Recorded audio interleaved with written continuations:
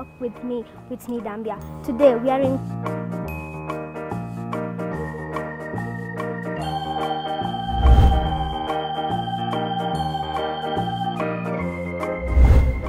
Hello, I'm Teacher Masi from Kiambu Hillcrest Academy and I'm going to take you through spelling competition.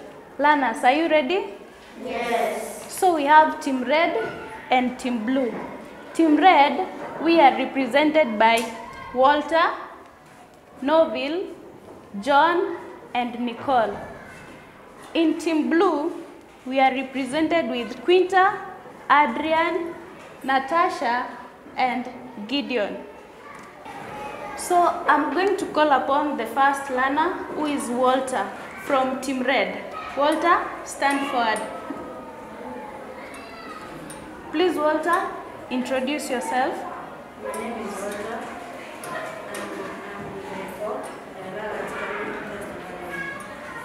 So, Walter, you're going to spell for us two words. The first word is decorate. Mhm. The second word is immediately.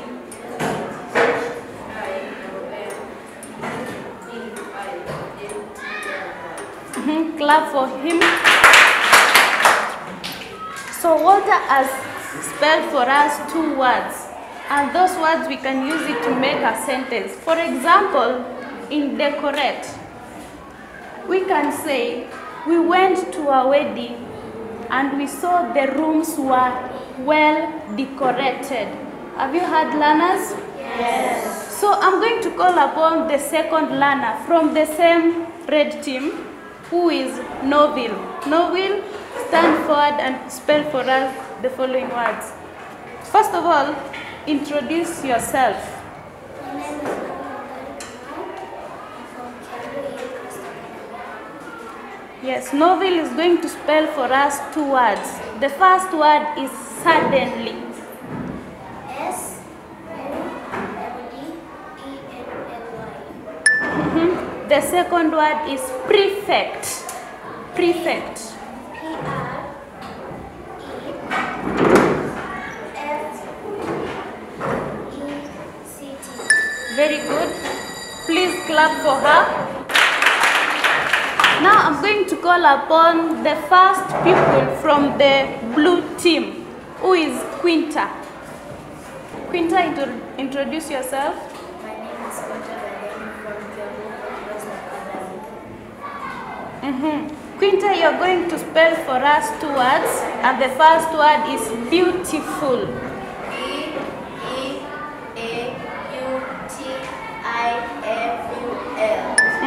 The second word is measure. Measure. M E A S U R E. Quinta has spelled for us well. Please clap for her. Sit down. The second person from the blue team is Adrian. Adrian, introduce yourself. My name is Adrian William from Kiambu Hillcrest and I'm grade eight. Uh-huh. Adrian, you're going to spell for us two words, and the first word is class teacher.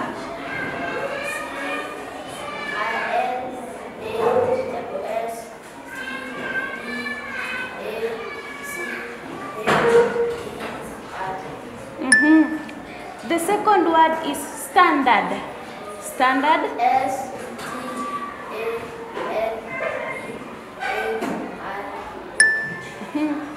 Adrian has spelled for us the words. Adrian, please sit down. Please. I'm going to call upon the a pupil from the red team who is John. Introduce yourself. My name is John Juni from Kiambu Hillcrest and I'm grade four. John is going to spell for us two words, and the first word is shopping list. S H O W E I N G L I S T. Mhm, The second word is agriculture. A G R I C U L T U R I. Ah. Please appreciate him. John, sit down. Ah, the last person from the red team, I'm going to call upon Nicole. Nicole, kindly step forward and introduce yourself.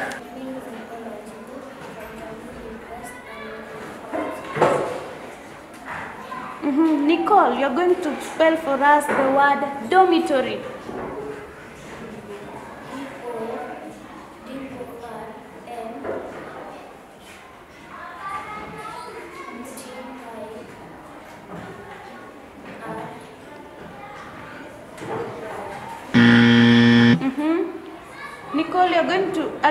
Spell for us the word Hillcrest.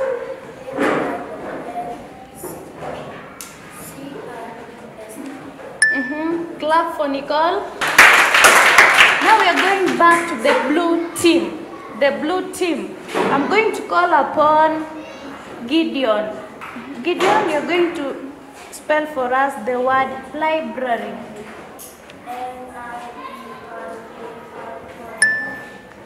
Mhm. The second word, Gideon, you're going to spell for us the word director.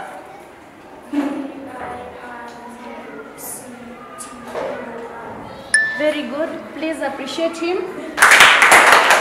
I'm going to call upon the last person from the the red team, the blue team, I mean, sorry, who is Natasha. My name is Mhm. Natasha, you're going to spell for us the word bookshop.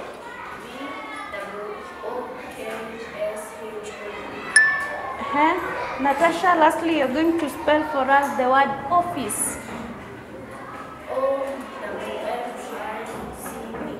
Mhm, Very good, appreciate her.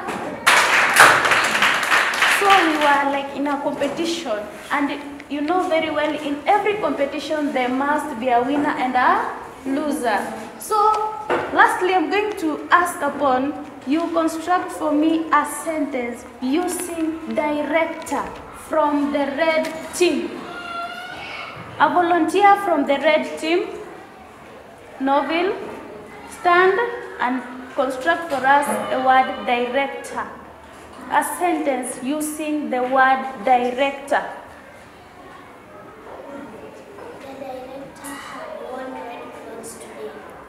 The director has worn the red cloth today. Kindly appreciate her. Eh, From the blue team, construct for me a sentence using bookshop. Adrian,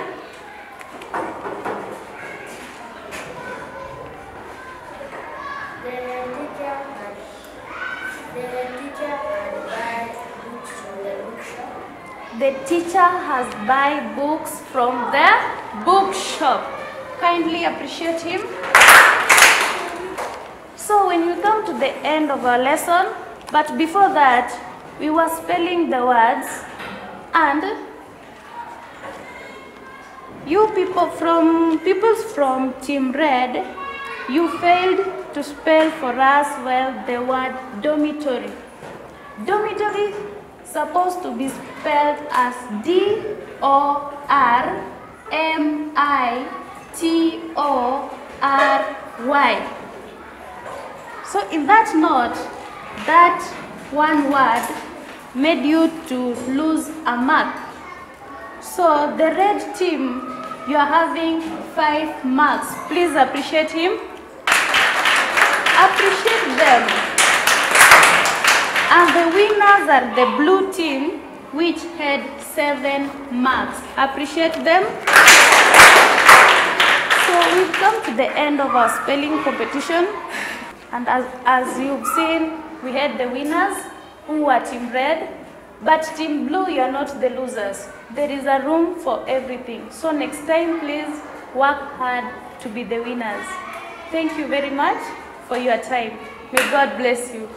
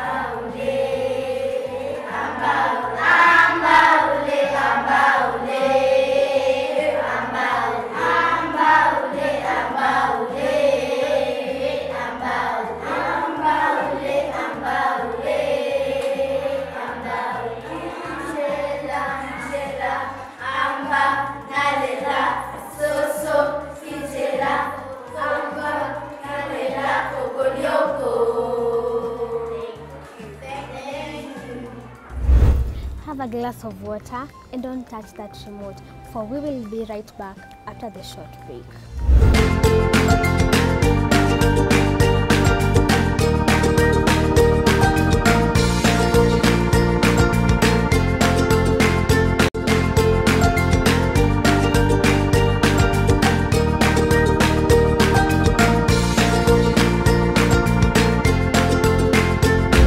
Hamjambo wanafunzi? Mwalimu, shikamoo. Muhali gani? Njema. Aya, karibuni katika kipindi chetu cha leo ambacho ni kipindi cha Kiswahili na haswa leo tunaenda kuzungumzia kuhusu imla. Imla ni kuzitaja na kuzitamka zile herufi ambazo zinaunda maneno tofauti tofauti katika lugha ya Kiswahili. Nimesema imla, ndarudia, imla ni herufi ambazo zinatamkwa na kutaja majina mbalimbali katika lugha ya Kiswahili. Kwa hiyo kuna baadhi ya majina ambayo tunaenda kuweza kuyapitia. Kwanza, darasa langu lina wanafunzi wafuatao: na Quinta, Noville, Nicole, Natasha, John, Adrian, eh, Gideon na Walter. Hao ni wanafunzi ambao ninao katika kipindi changu cha leo, na naenda kuwapa e, timu ambazo ni mbili. Kuna timu ya wasichana pale ndio kuwapa rangi nyekundu na timu ya wavulana pale inaenda kuwapa rangi ya samawati au bluu. Naam. E, maneno yangu ya kwanza yanamwendea Walter. Walter, simama, jitambulishe. Jina langu ni Walter, nasomea katika shule ya Kiambu Christ Academy. Ya, huyo ni ultra toka shule ya Kiambu Hillcrest. Nina maneno mawili ambayo naenda kwa kumuuliza Walter aweze kunipa eh, hizo tahajia ama hizo herufi kwa urefu. Neno la kwanza ni mchi. Mchi. Mchi. Neno la pili ni tendebuu.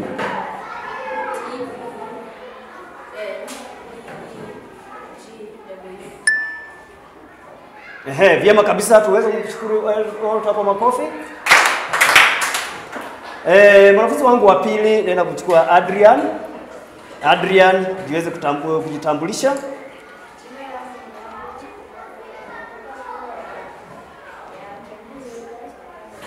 Eh, huyo ni Adrian kutoka shule ya Kiambu Hillcrest. Naenda kumpa eh, Adrian maneno mawili. Neno la kwanza ni computer.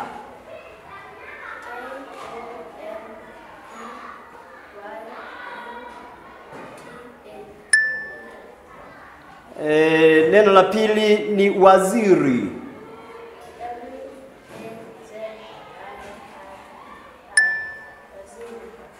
Ehe, vyema kabisa Adrian Keti. Tumweze kumpongeza kwa makofi. Neno la tatu linamwendea Gideon.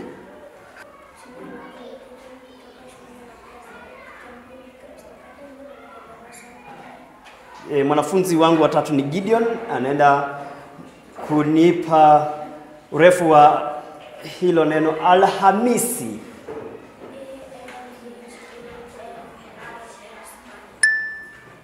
Neno la pili ni vihusishi.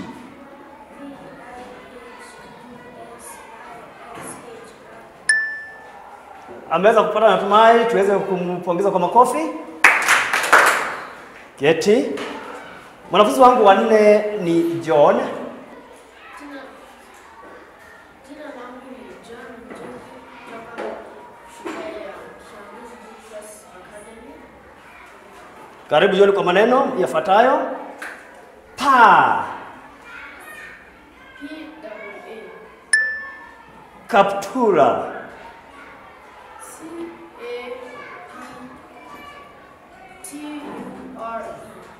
vyema, tuweze kumpongeza kwa makofi. Inaenda upande ule wa wasichana wetu ambao niliwapa rangi nyekundu, na mwanafunzi wa kwanza mnachukua kwinta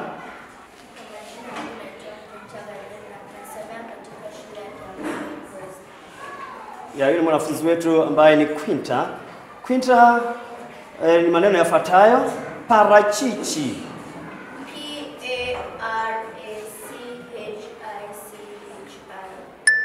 sauti njema sana. Neno la pili mchuzi,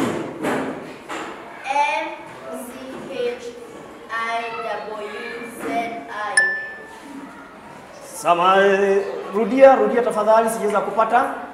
M C H I W Z I. Eh, vyema kabisa, tuweze kumshukuru Pinda kwa makofi. Ehe, tuweze kupata mwanafunzi mwingine Novila, jitambulishe.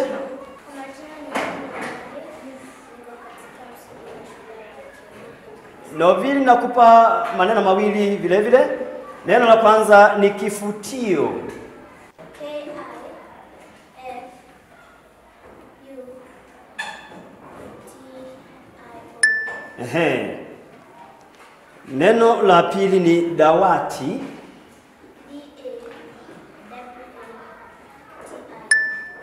Ehe, vyema tuweze kumshukuru kwa kofi. Ne, mwanafunzi Mwingine pale ni Nicole.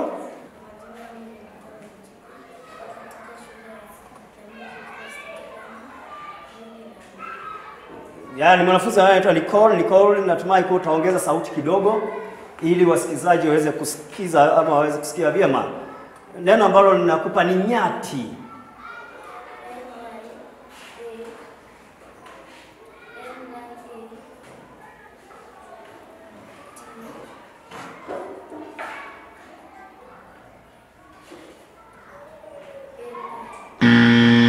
Vyema Nicole. Neno la pili ni kalamu.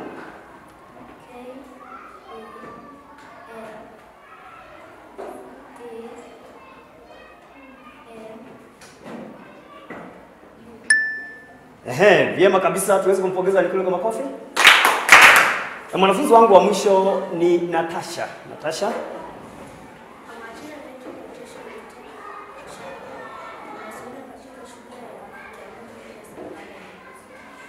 Mhm, ndio mwanafunzi wa mwisho ni Natasha bila shaka. Mwanafunzi Natasha nampa maneno vile vile mawili. Neno la kwanza ni rula.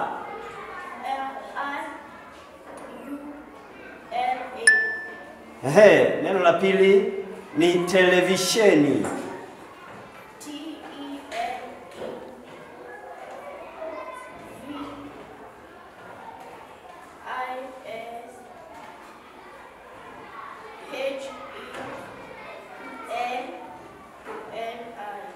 Mhm, vyema tuweze kwa makofi. Ya, shukrani, darasa limekuwa changamufu.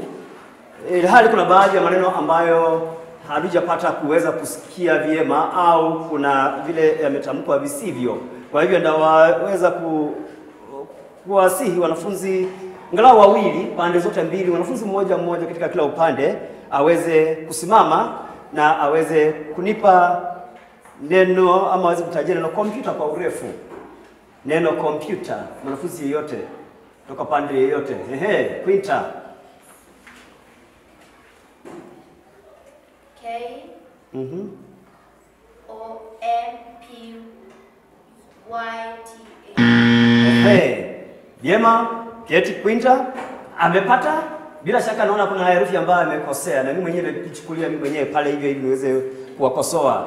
Ni K O M P Y U T A. Neno kompyuta. Vile vile kuna neno ambalo mwanafunzi aliweza pata visivyo. Kaptura. Kaptura. Yeyote R A.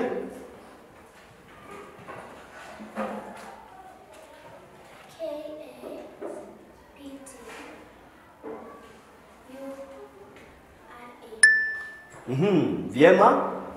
Haya, tuweze kupata sentensi darasa, tuweze kupata sentensi sentensi angalau mbili kwa maneno yafuatayo. Neno la kwanza ni nyati. Mhm, Adrian.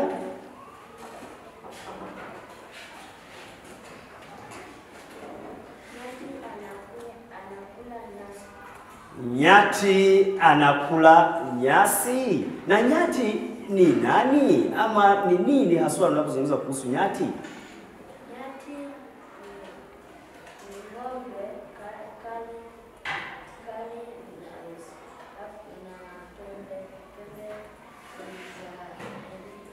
Ehe, tuweze kumshukuru Adrian kwa makofi moja.